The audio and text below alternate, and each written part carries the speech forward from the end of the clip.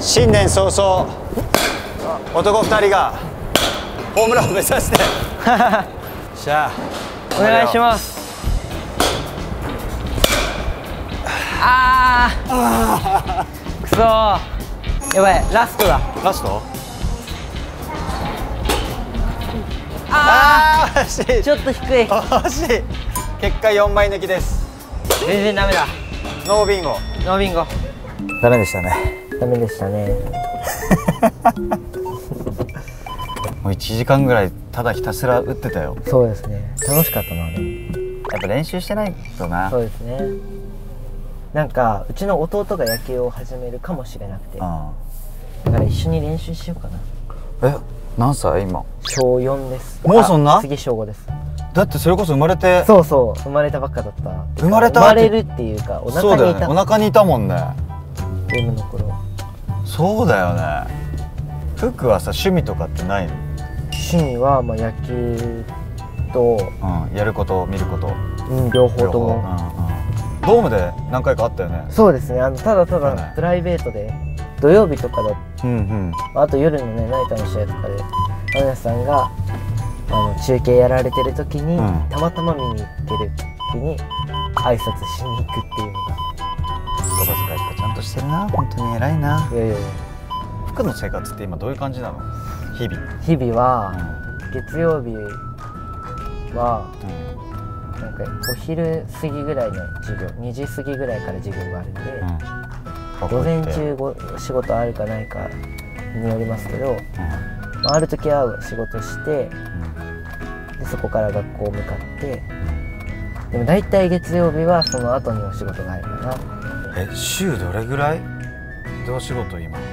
週まあ日で言うと67日。いやじゃあまあほとんどじゃん。7週7うん。今何やってんの？学校だけ。お仕事の内容で言うと。今はバラエティーとかうん。あと報道系の番組とか。うんうん。そういうのがメインで、まあ、あとは ZIP が毎週木曜日になるので。でもほぼ1週間？そうですねだから土日の休みみたいなのはほとんどなくて。えじゃあもう完全プライベートのプライベートってほとんどないってこと？あんまりないですね。だから学校行ってから友達と遊ぶとか。うん。入学してさ、まあ、高校とかもそうだけどうわ福ちゃんじゃん。うん。ってなるでしょ。なる。最初。な最初の方はなってましたね、まあ、グループワークとかもあるんで、いえやそういう時は本当にいるんですねってよく言われますね 自分たちが子供の頃にさうん。でも回る回るとかこう踊ったりとかしてたわけでしょ、そうそう。そうやって言ってくれます。先そうだよね。輩たちも同級生に。でもいいね。よかったね。それでさ、はい。まあ人の人柄とかでもあるんだろうけど、うん。なかなかさそこまでがっつりこういう活動してるとさいやそうなんですよね。一からねお友達になるとさうん。喋れどこまで喋っていいのか信用していいのかとかもさ、うんうん。ちょっと違うそうですね。じゃん。そうなんです。だから、ね僕は割とそこをすごい緩く緩くできてるなっていやそれすごいよ。まあ、周りの人たちに恵まれてるのは本当にあるんですけど。服バイトは？したいけどしたことない。したことない。で俺もそうなの僕野球用品店でバイトしたくて。え？野球用品店。うん。グローブ グローブとかをあの売ったりしたい。すごいね。本当野球好きだよね。そうです。嬉しいよあとは料理とかも好きだから。あ料理すんの？うん。たまに時間が今でも家族とずっと生活してるでしょ？そうですそうです。じゃあお手伝いとか？家族分みんな作ったりとか。ええ服が？そうですそうです。すごいじゃん。何作るでも簡単なのしかないです。チャーハンとかオムライスとか。のすごいじゃんすごいじゃん、こんな感じかなっていうイメージだけで。作れる？作ってみるとか。あじゃあ本当に上手なの？チャレンジしてみるみたいなのはたまにありま今の服の年齢で俺のぶたをプロデュースなの。すそっかスイーってさああ青春は見る この間カラオケで歌いました。生まれてないってこと？2005 5か。5か。だから1歳とかか。すげえな。街ぶら気持ちいい。気持ちいい。空も晴れて。服ってでもさ普段さ、うん。街歩く時のまあマスクはするし帽子も好きなんで帽子かぶるかぶって。けどたまにさんあの目色付き眼鏡っぽいのをちょっと。色付き眼鏡ちょっとこういうのかけたらどう？おおでも似合うね。いい感じですか？うん。大人。代官山とか歩いてそう。いやー似合う男になりたいですね。これ見てたらこ亀梨君これ悪影響やめてくださいって怒られちゃうよ。いやそんなことないですよ。でもさ電車とかでバレるでしょ？いやそれがね普通にしてたらそんなことなくて。本当に？全然平気なの。亀梨君がなんか金谷さんはもう無理ですよ。それはだってわかるもん。なんだろう。いい悪目立ち？悪目立ち？いやいやいやいい目立ちですいい目立ちじゃないのよ。まあ、たまにそうなんか電車の前に立ってる人とか、あれ？なんか座ってる人とかに「頑張ってください応援してます」とか言ってもらったりとか。福ってもうどこ行っても福ちゃんとか福くんじゃん。そうですね。福君って言ってもらいますね。国民の福くんだもん。いやいやいやそんな。すごいよ。いやちょっとお腹も空いてきたね。そうですね結局何百球打っただろうな俺たち。後で。チャレンジ失敗だけど。カメラ見て 数えてもらおう。部屋ってどんな感じなの？自分の部屋、うん。えーめっちゃ散らかってます。え片付け苦手？めめっちゃ苦手です。物が本当に多くて。怒られないの？ママとかに。うん。怒られます 仮面ライダーのうん。グッズを、もらったりずっと好きだもんね。買ったりちっちゃい時からのやつとか、うん。あとグローブもめっちゃ多いです。あそそう大好きグローブ。うグローブ グローブが好きなの？グローブ大好き。でへえ。あなたにはどういうグローブがおすすめですっていうのができる自信がありまおすアドバイザー、はい。すごいじゃん。それぐらい好きです。へえ。結構じゃあもうやりだすともいうやとことんだ。本当に。グローブに関してはもうオタクです。オタク？オタク気質なのかもなしたらな。そうです。ねさあということで到着しました。今お日はあ映んない。こうだドーン。カッパ祭り。もんじゃもんじゃ。もうもんじゃじゃない。俺たちといえば。本当嬉しい。ちょっと後でいろいろ話しましょう。ね。ね。あいい香り。よろしくお願いいたします。よろしくお願いします。よいしょ。どうぞどうぞどうぞ。まあうちじゃないですけど。多分初めてもんじゃ焼きを食べたのが亀梨さんとずっと言ってたんだよね。妖怪人間ベムの時にもんじゃが食べたいって言っててじゃあ食べ行こう食べ行こうって言ってたけど本当スケジュール忙しかったじゃん、うん。ありがとうごそれざいます。でホットプレートでそう。楽屋でやってくれたんです。俺がホットプレートを持ってくるから、うん。どっかでやれるとこないですかって言ってね、でしたら特別に。そう。今じゃ考えられないだろうね。ね何が好き？特に。キノコとかキノコはそんなに好きじゃない。好きじゃない、アスパラコアスパラ。じゃこれは？大和芋あうまそう。美味しそう、食べれる紅生姜食べ食べ食べじゃあ食べ三つにしようはい。すいません。はい、ラムネを一つ。ラムネ。僕緑茶お願いします。もう俺のがすごい子供っぽい。えじゃあえじゃあ俺もラムいやいいネにしよういいのいいのいいのいいのいいよえでもなんかここでラムネ飲むのいいねそうだこういう時しかなかなかさじゃあ僕もラムネではい無理してない無理してないですラムネ二なんか不思議だわいやー大人になってもうだってね。今年二十歳でしょ。いや本当。いやこうやってご飯食べるのめちゃくちゃ久しぶりじゃない？いや本当にそう。そう本当に。ベム以来とか。いや本当にそうなんです。ごめんな行く行く詐欺してたよな、ね全然。ジョジョ園のね連れてってくれるとかね。そうだね。言ってくれてたから。行こう。行きましょう。それも行こうね。ん。ありがとうございます。ありがとう。ありがとうございます。じゃあじゃあ。お久しぶりです。乾杯。乾杯。ありがとうございます。いただきますうまい。美味しいね。こういうイメージがあるからうん何飲む？緑茶で。だもんね。昔だったら ラムネとか言ってたそうからだね。確かに。どうなん？その二十歳もうじき二十歳の今後こういう風になっていきたいんだよ。仮面ライダーっていう目標ははい。もうドーンとあったじゃん？それ見事じゃん。今までそれに向かって本当に何でもやる喜びのメールくれたもんね。そうです。なりますね。ねそれもずっと言ってたのやっぱり。うん言ってたからなんかもう何でもできた今まで。うん。だけど今なんかぼんやりとそういう俳優さんとしてしっかりやりたいみたいなのは、うん。まあぼんやりとだけど、まあ、しっかりとうん。してるものとしてはあるんですけどなんかこれに出ますみたいな宣言できるようなうん。のがあんまりなくて。あー。でもどうだったろう亀梨君19歳の。なんか目標はあったんですか？こういうの。10代の時？まあ、それこそやっぱり先輩のバッグとかずっとついてたかあら東京ドームでコンサートやりたいとかあもうドラマに出たいとか、っていうのはあったけどその10代の時に今の俺が37歳でぐらいまではあまりすイメージやっぱできてないよ、あそっか。うん。どう見えてた？ベロは、うん。ベムを。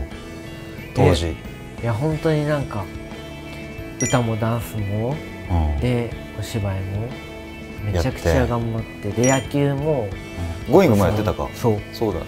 やっててすごいなって思って だから僕のずっと憧れの人いつも言うすすいません。いや俺はね本当ちゃんとしなきゃと思うよ。いやいやいやいやいや。大丈夫もいうやもちろんもちろん。大丈夫ですよ。全然大丈夫です 北海道の撮影とか大変だったよな船乗ってうんね、うん。だから妖怪のあの特殊メイクとかもすごい時間もかかったりとかしてさ、そドラマの時はめちゃくちゃ寒かったじゃん。はい、妖怪から人人間の姿に戻る時がさ、うん、ちょっとこうほぼ生身みたいな感じでさそうそう。めちゃくちゃ冬場なのに寒かったじゃん。でね。でみんなでこうやってね固まってね、で服をこう囲って。寒い寒いって言って。そうそう。やっぱ子供だから時間のうん。制限もあったからさ最初にこう福は福ちゃんうん。アングルをうん。全部取って、じゃあ服も早く帰らさなきゃさ服も帰りたくないっていう。寂しいっつって。そう。そうそうレムの現場は、うん自分の中で多分今までで一番きつかった現場だろうけど、あそそう。の分楽しかった現場だろうなっていう感じそうね。食べ物とかも葉っぱ食べたり大変だったよね。そう。一生懸命美味しい味あ付けをりがとうございます。そう。みんなで考えてね。人間っていいなって。ずっとね言ってたもんね。言ってた。じゃあ俺作っていいですか？お願いします。でも料理も済んだもんね。うん。ある程度は。あんちゃんとも会いたいね。うん。あんちゃん元気してますか？見てくれてるかも YouTube ね。あんちゃんも野球やるからさ野あ球のねね。やってたから野球の話とかしてたよねうん。あの頃は僕は野球よりサッカーの方が父さんがサッカーだそっから。ったかそっかそっか。で俺一生懸命俺たちが野球好きにさせる。でもねその数年後に自ら野球ハマってくれたからね。そう世界に入ってったから。二十歳だもんね。19だもんななんか今までたくさんできてきたことがある分、うん。やっぱ求められるハードルみたいなのも高くなるだろうしそうね。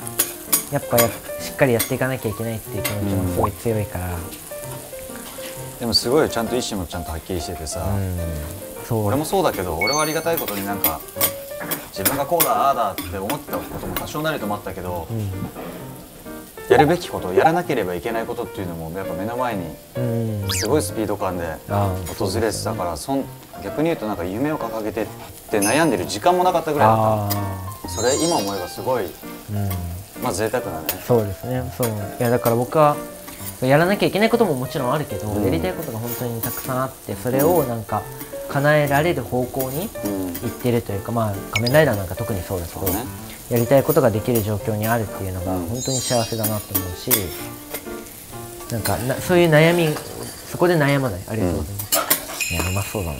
ね美味しそう。あいい香り。そうじゃ。んいただきます。いただきます。どうぞどうぞ。いただきます。開くよ。おいしい。やるよいいよお願いします。美味しいね。ああうま。うまやっぱ丸本とかベムの頃っていうん。やっぱ視聴率20%とかやっぱ行く頃だったじゃないですか、すごいよね。その頃をやっぱ知れてる分、うん。なんかそこになんだろう。それ愛があるっていうのが、すごい自分でも感じてて。テレビに対してね。そうですそうです。でも服の世代である程度それを経験できてるのもうん本当に。稀じゃない？そうですね。それこそだから芦田愛菜ちゃんうんとか本田。うんみゆちゃんとか、うん。結構やっぱ同い年なんですよあ、ま、完璧のなそう。なんか話したりもする？あったりするうんみーちゃんなんかは結構連絡取ったりとか。とあ本当。まなちゃんも会えば。すごいね。同志だね。そうですね。なかなかないよよそういう。いやほんとね。不思議な関係ですよね。うわあー美味しそううまく焼くでしょ？ーうまい。まん丸。あんまり素晴らしい。いやいや19歳もう間もなく二十歳の鈴木君人生のなんか最大のお買い物とかさ。あで俺で言うと服の年齢18歳。19歳。1台目車買ってるから。あすごい。車なのよ。ね。で言うと福ちゃんは何なのよ？カメラ。カメラ。おう写真好きなんだ。写真そうですね。へあの最近ちょっと興味持って、えうん。やっぱなんかいいものを長く使いたいなって思ったから、そうねよしと思って。買ったんだ。そう。ああんちゃん？来てんの？おい本当だ。偽装不倫だ。えー、2014年？9 9年？あ最近じゃん。うん。あらご縁があるね。あご縁カウンター。俺ごすぐご縁っていうの昔から言ってたかなご縁があるって。ああそうかな。言ってない。かうん。いけます。お。いただきます。ありがとうございます。美味しい。美味しい。大和芋。サクサク。美味しいね。サクもちうん。最高。紅生姜もうん。最近食べれるようになっえ？ダメだった？た前は、うん、めっちゃ嫌だった。大人やそう。俺も確かにね好きじゃなかった。焼きそばの紅生姜とか色ついてるだけでもダメうんだったわかります。ね。そうだった一人暮らしとかまだ考えてないの？いやあんまり自信がないというか。一人。だってさっき片付け苦手って言ってたじゃん、うんもうそうだし朝起きるのもすごい苦手で、起こしてもらってんの？ジップの日は起こしてくれますね、優しいね。すいません。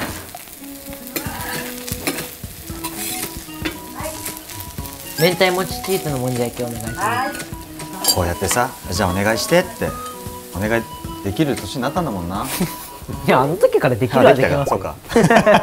ちゃんとしてるからな。鈴木家ちゃんとしてる。本当に。みんな。教育が。どういう教育受けてきたの？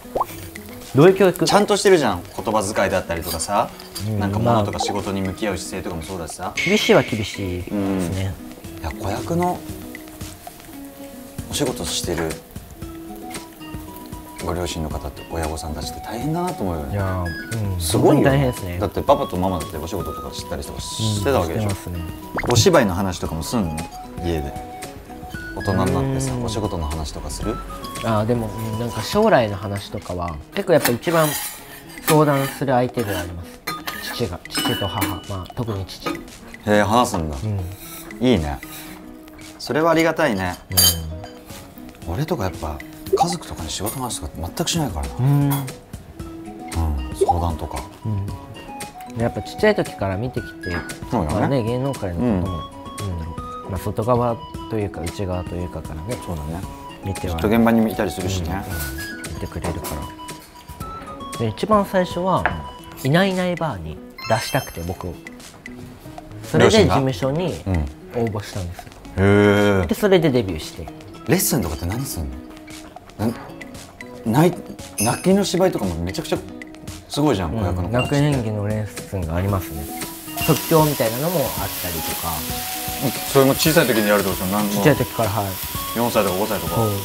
すげえわ子役の子たちマジすごい、マルモはオーディション？いやあれはオファーだったの？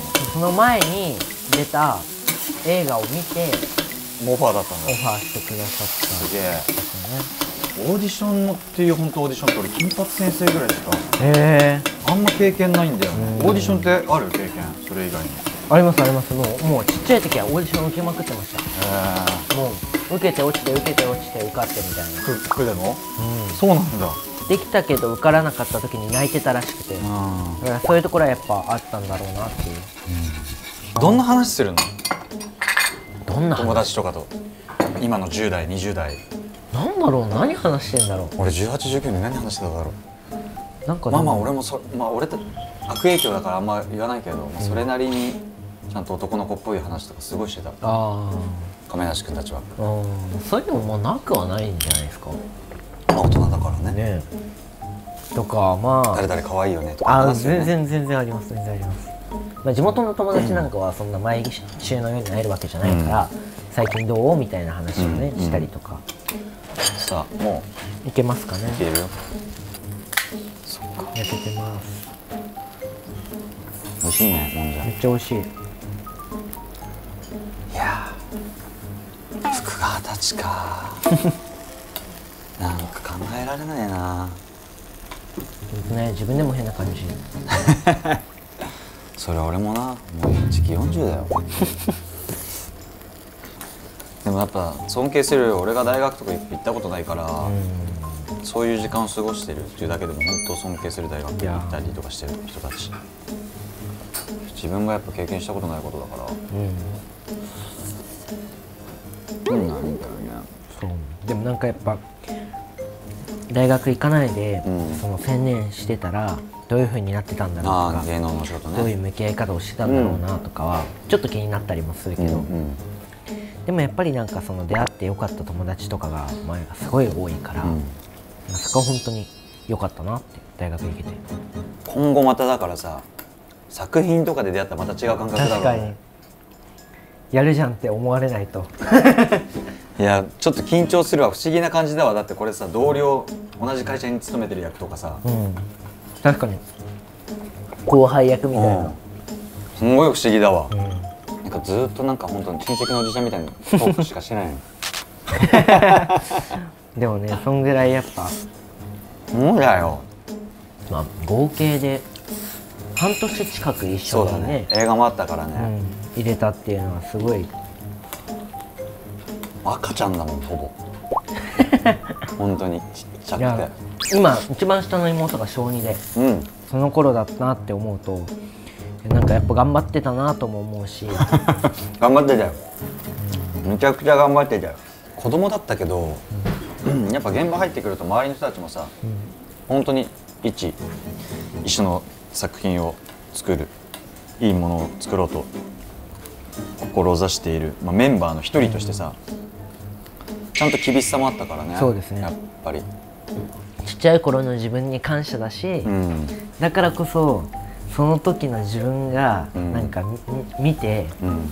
恥ずかしくない自分でありたいみたいなのも結構あって。だから「仮面ライダー」とかも、うん。なんかなんだろう。もちろん好きなのもあるんですけど、やっぱ出たいが先だったから、うんうん。勉強みたいな意味で見てたところもすごい大きくてあもう当時から？やっぱ自分がなりたいって言ってたものだし、ね。ないりたい気持ちもあるしって思ってずっと見続けてでもその結果がねやっぱ今の自分多分ちっちゃな時のに誇れる自分には近づけてるんじゃないかなっていうかまアクションはできたワイヤーアクションとか。ああワイヤーもやりたいやどりたい人だもんね。そうそう。でも結構いいアクションシーンをやらせてもらいました。本当。それこそベムの映画の撮影の時かな、うんうん。ワイヤーアクションやりたいやりたいって言ってじゃあ服になんかちょっとワイヤーアクション、うん。ちょっとやったよねなんか 回ったりかな何何箇所かやりました。やったよね。うん。でもやっぱベムであれだけ特撮の現場にうん。入り込んでたから、そうだね。もちろん新しいなんだろう学びもあったんですけど、うん。知ってることも結構多くて「仮面ライダー」の現場に行っても。ベムの撮影の時そういう特撮のチームの。そうですそうです。ね、みんなスタントの方入ってくれたんですよねアクターさん入ってくれて。平成何年ってこと生まれ？16年です。20だとミーヒちゃんです、おお平成16年、うん。ラウール君が僕の1個上です。あラウール、うん。そういうことか。そうだよね。さっきも話したけど。すげえな。どう？最後ちょっと服作ってみる？おじゃあ福ちゃん。福くんのお好み焼き。作れる？できますできます めんどくさいめんどくさいとか言ってできないかったらどうします大丈夫大丈夫。あの頃は服できるか？こういうのやってみるか？って本当キッザニア行くみたいなの。た ね年齢的に言うとね。そうね。小2だから。それが汚れちゃうから。あありがとうございます。なんか僕がたらこスパゲッティが大好きだったから。好きだったね。それでなんかあのスタジオのキッチンで、ん。たらこスパゲッティを亀梨さんが作ってくれて。俺ね本当ねあの俳優一スタジオのキッチン使っ使っ使ってた男だと思そうですね。最近やんないけど。最近やってないですか？やっぱさえ一人鍋とかしないですか？あそれはする。あ最近相撲してる。いないでしょそんな俳優さん。あんま見ないですね。見ないよね、うん。変わってるよねやっぱ俺。やっぱうん。何しに来てんだと思われてるから。がそういう風にならないじゃないですかみんな。そっか。なんか。大変だし。うん。きっかけは多分たった一つの恋というドラマで。あガンガンって我々使うじゃない、冬場の時期あのなんかオイルみたいなのを燃やして暖を取る、やつがあれ全然進化しないよね。本当ですよね。あれこんなに世の中進化してるのに俺たちの撮影現場の全然進化しないよね、うん。ちょっとずついやそう。もう少しななんか欲しいよね。でガンガンの上をさうん。でなんかちょっとお湯を沸かしたりとかしてるじゃない、うん。現場で、うんこれ冷凍うどんを上に置いたらうんうどん食えんじゃね？おおそこからなんだ。って思ったのよ。ポップコーンとかやりだしたりとか。あでポップコーンだとさ呼ばれてさうん。パンパンパンなった。パンパンパンパンなったなったとかなるじゃん。で呼ばれたら「あやばいちょっとこれじゃあ持っててください」って言ってました俺ら現場でお芝居し始めるの。こっちで「パンパンパンパン誰音!」とか言って俺。ら「もう!」とかって怒られて「すいません」ってへーやってやりながらっていうのがきっかけで。いや本当に一人で自分でコンロの上にあのお肉持ってこうやってねしゃぶしゃぶしてるのを遠目に見てた記憶がすごくある。NHK でやってた「正義の天秤」ってドラマがあるんだけど、その正義の天秤の時になんかスタジオが倉庫みたいなとこだったのね。へだからもうスタジオなんだけども寒いみたいな。こたつ買ったよえ？現場に。すげえ。ちょっと足の長い手机型の。ああ。へえ。でみんなでこたつ入っていやすごいな。なんかそのみんなへの何かっていうのがすごいそう。なっていうのは僕はもうちっちゃい時から思ってて、うん。それこそ寒い時に肉まんねみんあのエキストラさんとかの分差し入れしてたりとか。そういうの見て僕はそういうことできるようになりたいなってすごい思ってましたちっちゃい時から。いい影響だったらいいけれど。いやうん。ちょっとやっぱ変わってんだよね。そうですね。なんかさ嬉しいじゃん。うんいやそうなんですよね。現場でお味噌汁があるだけで嬉しいんですよね。なんかあったかい飲み物とかさ夏場だったらアイスとかさうん。なんかそれで一気に士気上がったりするし、ね。年々やっぱみんなで作ってる感はすごい増えてきてるな自分の中でも。若い頃よりも。一人じゃ何もできねえんだなこの YouTube もそうだけど。えうんうんうん。本当我々は支えられてますよね。そうですね。鈴木福よいしょ。ちょっ19と歳腰を浮かせます。よいしょ。お。おい。オッおーケーオッケいけたいけた。ーナイスナイス。ちょっと俺がさっき弱めちゃったから。いい香り。面白いのがさ面白いって言っちゃいけないけどさうん。福ちゃんとか福くんじゃん。それがさ報道の番組出るとさ福さんって呼ばれるそうんそうそう。いや面白い。僕も面白いんですよ。面白い。えなんか。福さんってすごいよな。そうあれねなんか報道的にそっか。そのくんじゃないか。ちゃんとかはあるね。良くないから。今時だってくんちゃん問題もあるから。かそうかそうか。だからファンで統一しようっていうふうにそう最初なってあ分かりました。うん。まあしょうがないよな、うん。でもそういう年齢にもなってきたんだなってきてますでね。俺もある時から「亀ちゃん亀ちゃん」って現場ずっと言われてたけど10代とかね、いつからか俺も亀梨さんになったね。うんうんうんもうそろそろ。さあちゃんすいません。いやめてやめてください。ついつい。そうそうもう一回ひっくり返す。もう一回ひっくどっちもり返して。どっちもよどっちもよちょっと。はい。ああいいちょっとじゃん勢い強かったねじゃあソースかけますか。はい。とマヨネーズ福さんが。その福さんって何なんですかいきます。はい。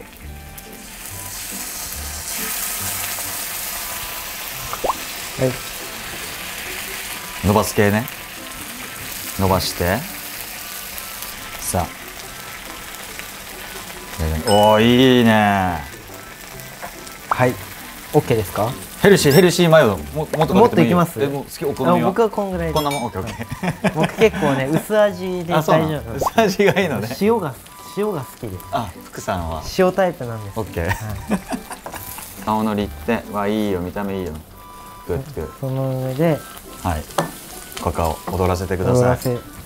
踊ります。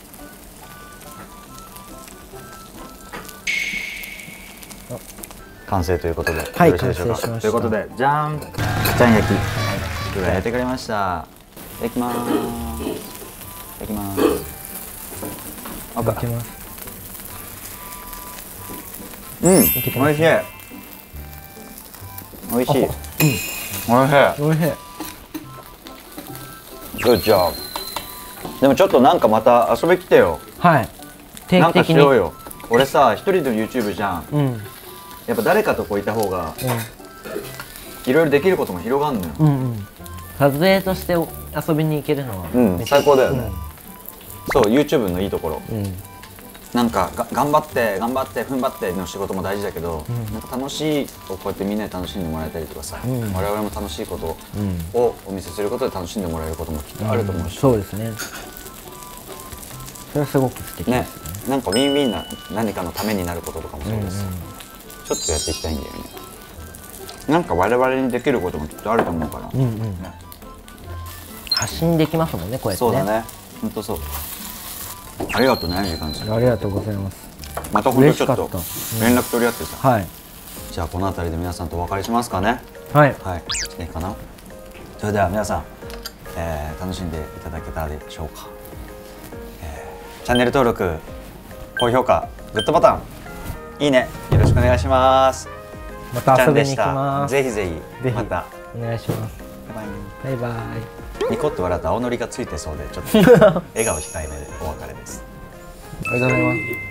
高評価とグッドボタンといいね全部一緒です。えそうなの？えじゃあ俺文言間違えてんの？